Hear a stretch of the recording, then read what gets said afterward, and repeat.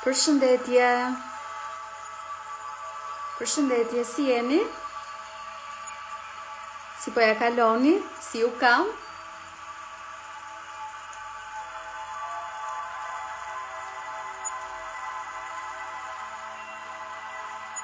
Hello, Alma, përshëndetje. Uroj të keni kaluar sa më mirë. Përshëndetje Adrian. Përshëndetje Shqipe, përshëndetje të gjithëve, përshëndetje Lindita. Jemi këtu sot sepse kam dëshirë të vazhdojmë me ligjin e radhës prej librit 7 ligjet shpirtërore të suksesit. Kemi bërë pushim dje për shkak të angazhimeve që unë kam pasur, por gjithsesi do të rikthehemi sot dhe do të merremi dhe do të cekim një tjetër ligj të fuqishëm, që Dipak Çopra e trajton në librin e tij 7 ligjet shpirtërore të suksesit. Dhe konkretisht sot do të flasim për ligjin e qëllimit. Ligjin e dëshirës. Përshëndetje Flora. Kështu që ky ligj është ligji i pestë në radhë, ne kemi edhe dy të tjerë në vijim që unë do të përpiqem t'i lexoj në në ditët në vijim. Dhe të gjithë këto ligje kanë një ndikim të jashtëzakonshëm në jetën tuaj. Sigurisht çdo gjë ka ndikim kur fillon dhe praktikohet. Nuk është nevoja thjesht t'i dëgjojmë gjëra, të marrim ca leksione dhe ok, unë e di këtë, e dëgjova këtë, Po edhe këtë e di e kam të njohur, por ideja është që ne t'i vendosim në punë këto gjëra që që mësojmë këto teorira t'i praktikojmë. Vetëm nëpërmjet praktikës ne fillojmë pastaj ta tjetërsojmë komplet qenien tonë, ditën tonë, jetën tonë. Kështu që pa humbur kohë, unë do të filloj të lexoj ligjin e pestë shpirtëror për sukses, i cili është ligji i qëllimit dhe i dëshirës. Ky ligj bazohet në faktin se energjia dhe informacioni gjenden kudo në natyrë. Në fakt, në nivelin e fushës kuantike ka vetëm energji dhe informacion. Fusha kuantike është thjesht një emër tjetër për fushën e vetëdijes së pastër apo potencialit të pastër dhe kjo fushë kuantike ndikohet prej qëllimit dhe dëshirës. Le ta shqyrtojmë këtë proces deri në detaj. Një lule, një ylber, një pemë, një fije bari, trupi njerëzor, kur shpërbëhen të gjitha këto, në thelbin e tyre janë energji dhe informacion. I gjithë universi në natyrën thelbësore është lëvizje e energjisë dhe informacionit. Ndryshimi i vetëm midis jush dhe një peme është përmbajtja e informacionit dhe energjisë së trupave tuaj përkatës. Në nivelin material, ju dhe pema përbëheni prej të njëjtëve elementë të ricikluar, kryesisht karbon, hidrogjen, oksigjen azot dhe elementë të tjerë në sasi të vogla. Këta elementë mund t'i blini në një dyqan materialesh për pak para. Pra, ndryshimi midis jush dhe pemës nuk është karboni, hidrogjeni apo oksigjeni. Në të vërtetë, Ju dhe pema shkëmbeni vazhdimisht karbon dhe oksigjen me njëri-tjetrin. Ndryshimi i vërtetë midis jush qëndron në energjinë dhe informacionin. Në skemën e natyrës, ne jemi një specie e privilegjuar. Kemi një sistem nervor i cili është i aftë të jetë i ndërgjegjshëm për përmbajtjen e energjisë dhe informacionit në atë fushë të kufizuar që jep formë trupit tonë. Ne e përjetojmë këtë fushë në mënyrë subjektive, si mendime, ndjenja, dëshira, kujtime, instinkte, shtysa dhe besime.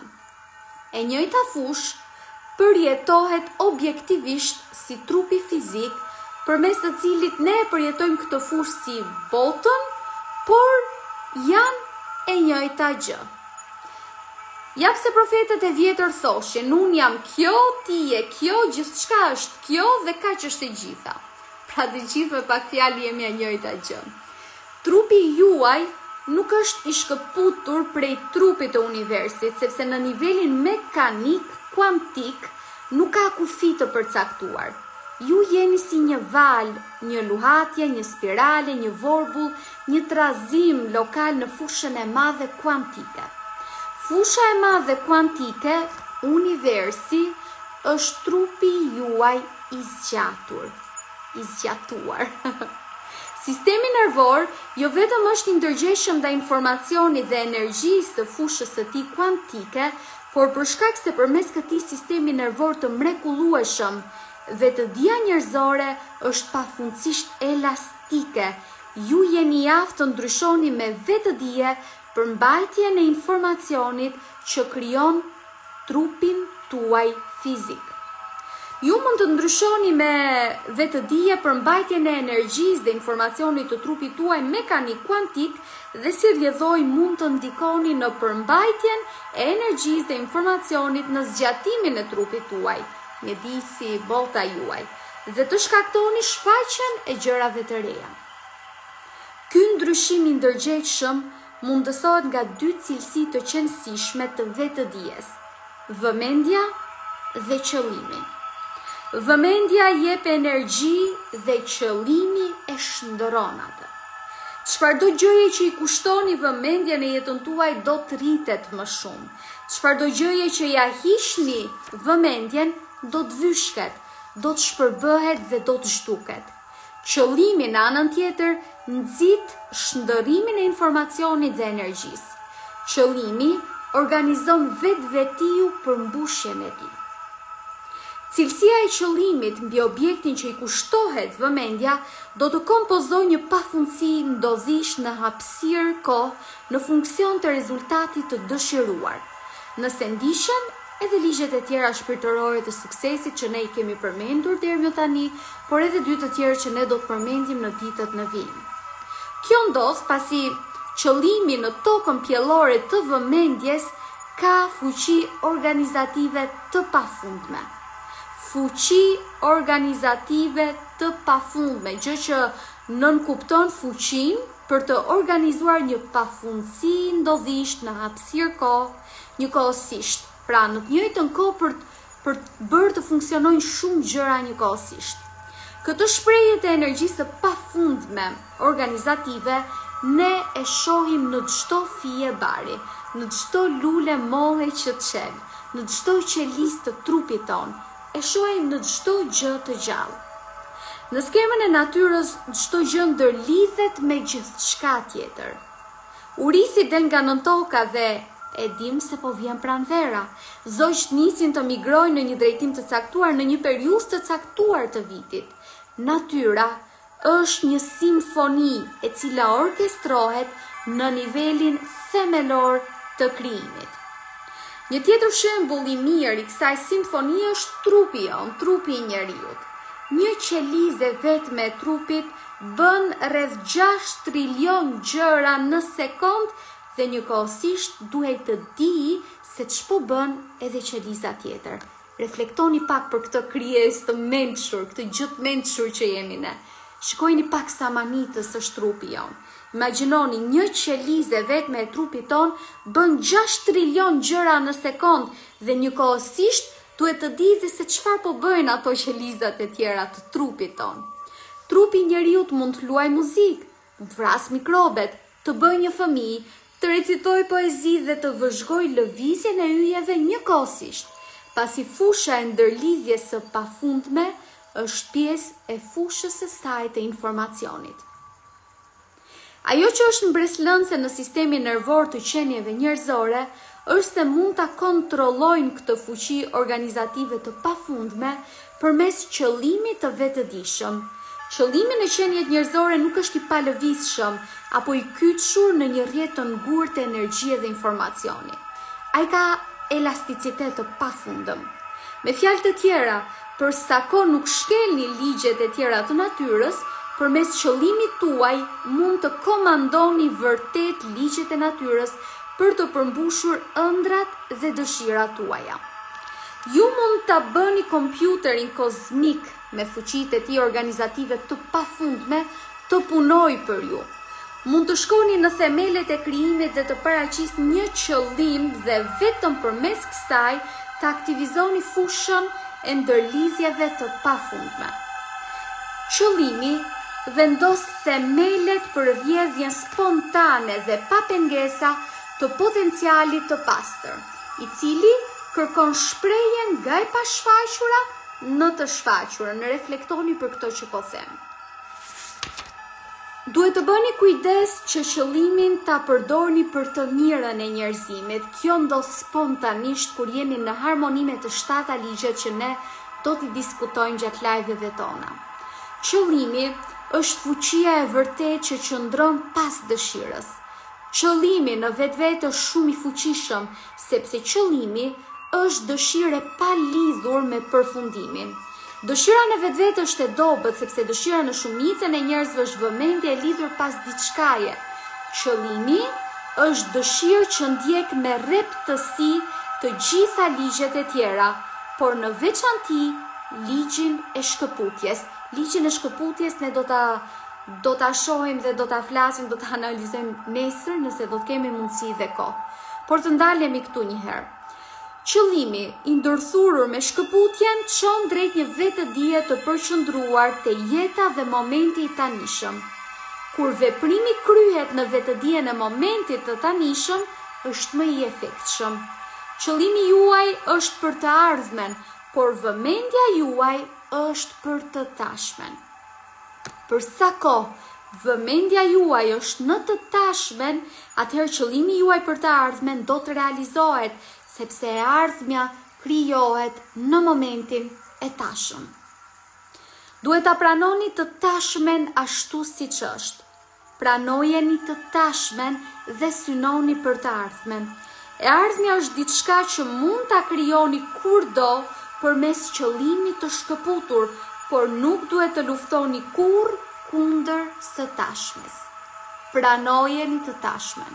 Pranojeni ashtu siç është dhe mos u lodhni të ndaleni për të parë si duhet të ishte, pse s'është ashtu siç dëshironi ju. Pranojeni, pranojeni këtë moment, pranojeni këtë ditë, pranojeni çastin e tanishëm. E shkuara, e tashmja dhe e ardhmja janë të gjitha tipare të vetëdijes. E shkuara është kujtim, e ardhmja është pritje, e tashmja është vetëdije. Si rrjedhojë, koha është lëvizje e mendimeve, e shkuara dhe e ardhmja lindin në imagjinatë, Vetëm e tashmja e cila është vetëdije është e vërtetë dhe e përjetshme. Është vërtet, është potenciali për hapësirën, kohën, materien dhe energjinë. Është një fushë e pafundme mundësish që përjeton veten si forca abstrakte, qofshin këto dritë, nxehtësi, elektricitet, magnetizëm apo gravitet. Këto forca nuk janë as në të shkuarën, as në të ardhmen. Të gjitha këto forca janë tani. Thjesht janë, ekzistojnë. Interpretimi ynë i këtyre forcave abstrakte na sjell përvojën e fenomeneve dhe formave konkrete. Interpretimi i fiksuar në kujtesë i forcave abstrakte krijon përjetimin e së shkuarës, ndërsa interpretimet paraprake ndaj të njëjtave forca abstrakte krijojnë të ardhmen. Këto janë cilësi të vëmendjes në vetëdije. Kur këto cilësi çlirohen prej barrës së të shkuarës, atëherë veprimi në të tashme bëhet toka pjellore që krijon më pas të ardhmen. Qëllimi, bazuar në këtë liri të shkëputur të momentit të tanishëm, shërben si katalizator për përzierjen e duhur të materies, energjisë dhe ndodhive në hapësirë-kohë, për të krijuar gjithçka që dëshironi. Nëse keni vetëdije të përqendruar në jetën dhe momentin e tanishëm, atëherë pengesat imagjinare që përbëjnë më shumë se nëntëdhjetë për qind të pengesave që perceptojmë, shpërbëhen dhe zhduken. Pesë deri në dhjetë për qind të pengesave që kanë mbetur mund të shndërrohen në mundësi përmes qëllimit të përcaktuar saktë. Qëllimi i përcaktuar saktë është ajo cilësi e vëmendjes që është e fiksuar fort drejt pikësynimit. Qëllimi i përcaktuar saktë do të thotë të mbani vëmendjen drejt rezultatit të dëshiruar në një me një pikësynim kaq të palëkundur sa të mos i lejoni aspak pengesat që t'jua prishin cilësinë e përqëndrueshmërisë së vëmendjes. Ndodh një përjashtim i plotë i të gjithë pengesave në vetëdijen tuaj. Jeni në gjendje të mbani një qetësi të patundur ndërkohë që i përkushtoheni me pasion të madh synimit tuaj. Kjo është fuqia e vetëdijes së shkëputur dhe qëllimit të përcaktuar saktë kur punojmë njëkohësisht. Nëse mësoni të përdorni fuqinë e qëllimit, mund të krijoni gjithçka që dëshironi. Ju mund të arrini sërish rezultate përmes mundit dhe përpjekjes, por me një çmim. Ky çmim është stresi, janë infarktet dhe funksionimi i cunguar i sistemit tuaj mbrojtës. Është më mirë të ndiqni pesë hapat e mëposhtëm të ligjit të qëllimit dhe të dëshirës. Kur ndiqni këta pesë hapa që unë do t'i lexoj tani, për të përmbushur dëshirat tuaja, qëllimi e krijon vetë fuqinë e tij. Tani po i lexoj të pestë hapat, kështu që mbajni mend ose ridëgjojeni këtë live dhe përpiquni t'i t'i fusni në në jetën tuaj. Hapi i parë. Hyni në boshllëk. Kjo do të thotë të përqendroheni te hapësira e heshtur mes mendimeve, Ai nivel i qenies që është gjendja juaj thelbësore. Hyni në boshllëk. Si ta bëjmë këtë? Nëpërmjet njohjes së vetes, nëpërmjet meditimit, nëpërmjet qetësisë. Futuni në atë zbrastinë e mendjes, e qenies. 2. Pasi të jeni në atë gjendje të qenies, lëshojini qëllimet dhe dëshirat tuaja. Kur jeni në boshllëk nuk ka as mendime, as qëllime, Por teksa dilni nga ky boshllëk, në kryqëzimin midis boshllëkut dhe mendimit, atëherë paraqiteni qëllimin tuaj. Nëse keni një listë me synime, mund t'i shkruani dhe përqëndrohuni te to para se të hyni në boshllëk. Për shembull, nëse doni një karrierë të suksesshme, Hyni në boshllëk me atë qëllim. Ky qëllim do të jetë tashmë aty si një pulsim i lehtë në vetëdijen tuaj.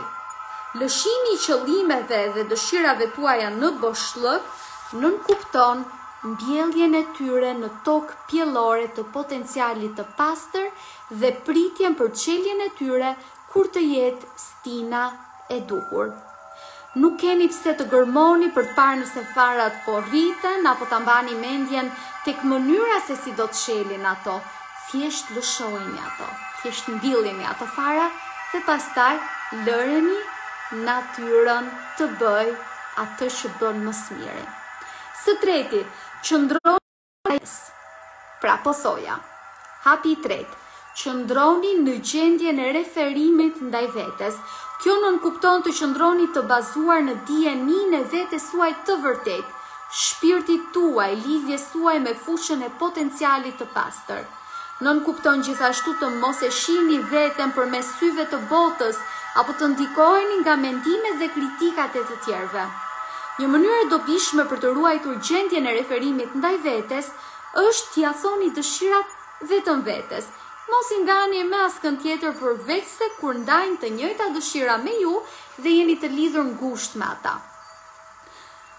Mos u çakërdoni, mos u ndikoni se çfarë thonë të tjerët, mos lejoni të ndikoheni nga komentet e botës, nga mendimet e tyre apo nga kritikat e tyre. Thjesht referohuni vetë tek vetja juaj, ndaluni vetë tek vetja juaj. Së katërti, mos u kapni pas rezultatit. Kjo nënkupton të hiqni dorë nga fiksimi pas një rezultati të caktuar dhe të jetoni në mençurinë e pasigurisë. Nënkupton të shijoni çdo çast në rrugëtimin e jetës suaj edhe nëse nuk e dini rezultatin. Dhe e fundit, lërjani universit të kujdeset për hollësitë. Qëllimet dhe dëshirat tuaja kur lëshohen në boshllëk kanë fuqi organizative të pafundme. Besojeni fuqinë organizative të pafundme të qëllimit që të orkestrojë pastaj të gjitha hollësitë e tjera për ju. Mos harroni se natyra juaj e vërtetë është shpirti i pastër. Mbajeni vetëdijen e shpirtit tuaj kudo ku shkoni. Lëshojini me butësi dëshirat tuaja dhe universi do të marrë përsipër hollësitë e tjera për ju, për t'i bërë këto gjëra të rrjedhin edhe në botën tuaj fizike. dhe materiale.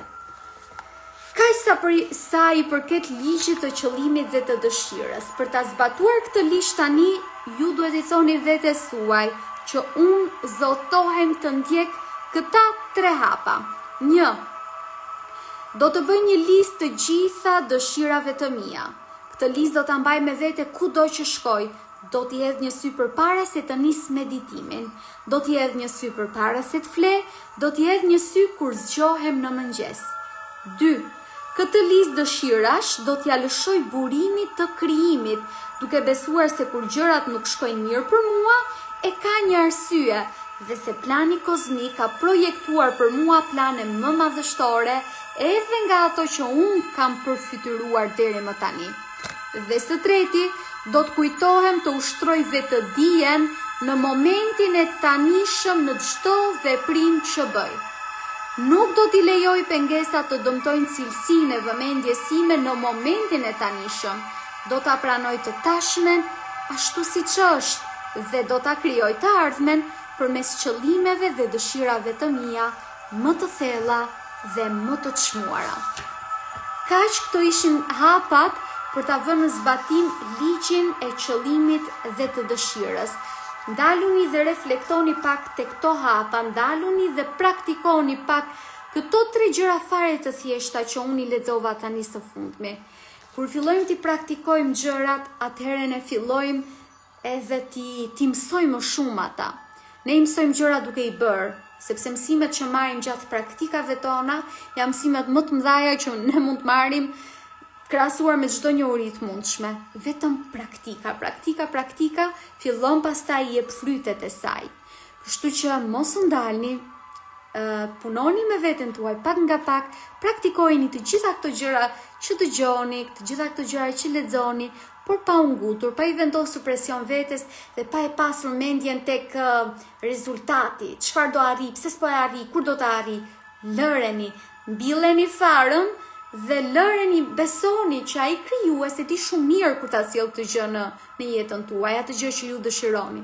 Mos shkoni ta hapni farën, ta gërmoni, jo po po çel, jo po s'po çel, jo po Ta fus ta nxjerr dhe njëherë farën nga toka, të provoj pra lëreni, e mbollët farën, e mbollët dëshirën, e hodhët atë emocionin tuaj, dëshironi aq shumë që ai qëllimi juaj të realizohet, çojani Krijuesit këtë mesazh, jepjani Zotit, ai mund t'i bëjë të mundura gjitha gjërat për ju, nëse ju takon në nivel hyjnor dhe nëse jeni gati për atë dëshirë dhe për atë gjë që ju mendoni se e dëshironi tani.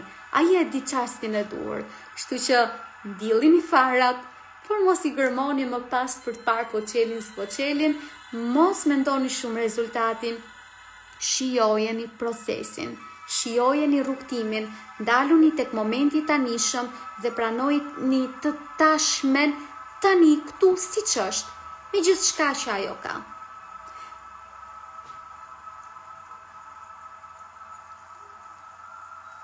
Patjetër, Albiona, shumë e vërtetë. Çdo gjë ecni me mendimin që çdo gjë ndodh për të mirën tonë. Çdo gjë ndodh për të mirën tuaj. Edhe kur mendoni që nuk po ju ndodh një sukses që ju e dëshironi, mos thoni pse s'më ndodhi, por të jeni të bindur që kjo gjë nuk u bë sepse nuk ishte ajo që meritoni ju, nuk ishte më e mira për ju. Diçka më e madhe po vjen në drejtimin tuaj.